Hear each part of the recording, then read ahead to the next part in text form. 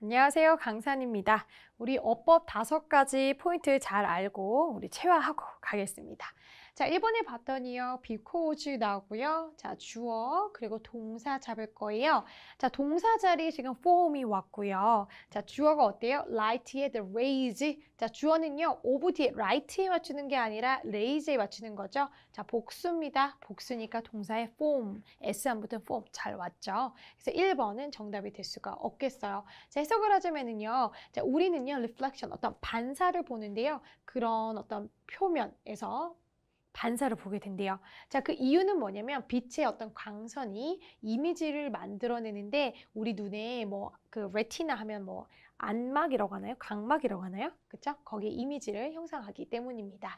자, 비코즈 다음에 주어 동사 오는 거 잘 기억하실 거고요. 자, 동사에 우리가 s가 붙냐 안 붙냐는 주어가 결정하고 주어가 복수니까 s가 붙지 않은 그냥 원형의 폼이 왔구나라는 거. 자, 폼은 동사로 형성하다라는 뜻이 있다라는 것까지 챙겨두시면 되겠습니다.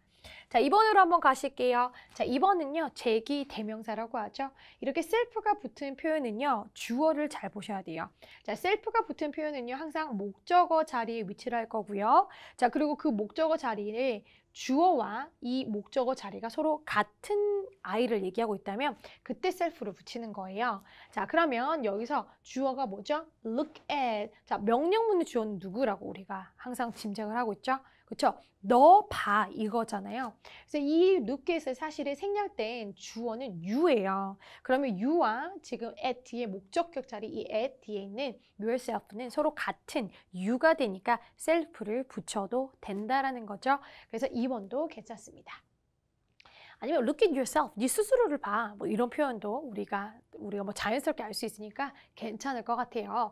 자, 3번을 보시니까요. clearly 하면 부사죠. 자, 부사 자리는 어디예요? 그렇죠? 명사가 올 수 있는 자리 외에는 다 올 수가 있어요. 선생님, 그럼 명사는 언제 올 수, 아, 형용사가 올 수 있는 자리에는 자, 빼고는 다 올 수 있는 게 부사인데요. 자, 부사의 반대 개념이 형용사고, 자, 형용사가 올 수 있는 자리는 두 가지가 있다라고 말씀을 드렸어요. 자, 바로 명사를 꾸미는 자리. 그리고 우리가 보호라는 자리에는 형용사만 올 수 있어요. 하지만 부사는 그 외에 뭐 동사를 꾸민다던가 형용사를 꾸민다던가 혹은 문장 전체를 꾸밀 때 그 외 모든 그런 부분에 다 부사는 올 수가 있거든요. 그래서 부사가 올 수 있는 경우는 정말 많아요. 그러니까 형용사가 올 수 있는 자리, 이 두 가지 자리, 명사 꾸미는 자리 혹은 보호 자리 빼고는 다 올 수 있구나. 이렇게 생각하시면 돼요. 자, 그러면 clearly라는 부사가 지금 어디 껴있죠? be seen이라는 동사, 수동태 중간에 껴있어요. 자, 이 수동태라는 동 사, 동사를 꾸미는 것도 바로 부사다. 그러면 우리가 여기서 해석을 해보면 stand a mirror of light on the table. 테이블 위에 있는 그 어떤 그 거울에 직각으로 우리가 한번 서봐. 뭐 하기 위해서 a piece of paper on the table 테이블 위에 있는 한 종이 한 장이 can be clearly seen 명확 하게 보여지는 거죠. 그래서 우리 부사로 clearly 동사를 꾸미는 보여지는 건데 명백하게 보여지는 거. 그래서 동사로 꾸미는 부사 괜찮습니다. 그래서 3번도 우리 괜찮으니까 넘어갈 거고요. 자, 4번 표현을 보시니까 아, it to 해서 이거 가주어 진주어구나. 자, to 이해하는 게 훨씬 더 쉬울 것 같다라는 거예요. 자, 근데 to 이해하는 게 뭐냐면 be written backwards. 뭔가 backward라는 뒤로라고 적 혀지는 게 더 쉬울 것 같아요. 자, 그럼 이걸 적는 대상은 뭐죠? 이 적는 대상의 주체는 뭐죠? 자, 여기서 생략된 지금 이 의미상 주어는요. for you예요. 자, 너가 더 쉬울 것 같아. 뭐 하는 게? 적는 게. backward라고 적는 게 더 쉬울 것 같아. 라는 거거든요.